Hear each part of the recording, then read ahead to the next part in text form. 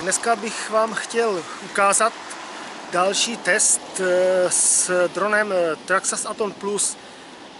Mám na něm po delší době opět eh, gimbal s kamerou GoPro Hero 3.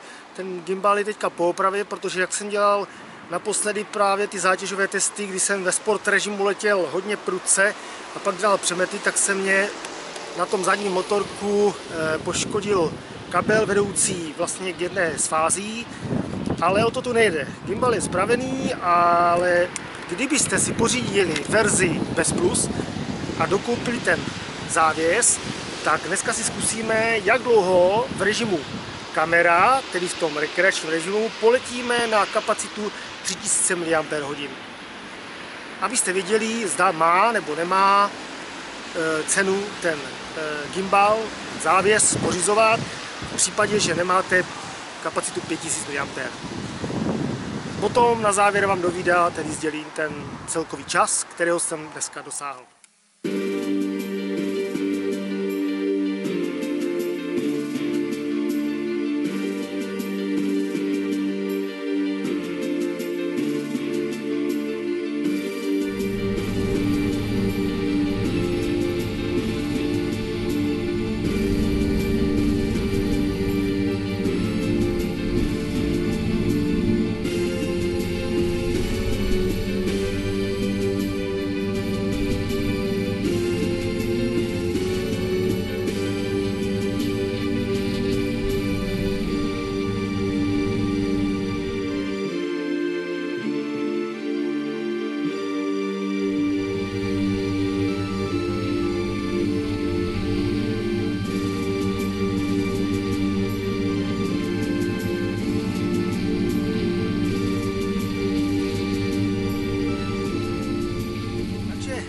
Nakonec jsem se dostal v dnešním lehce větrném počasí a při teplotě zhruba 10 stupňů nad nulou s tou kapacitou 3000 mAh a s tím závěsem a kamerou GoPro Hero 3 na letový čas zhruba 9 minut a nějaké drobné. E,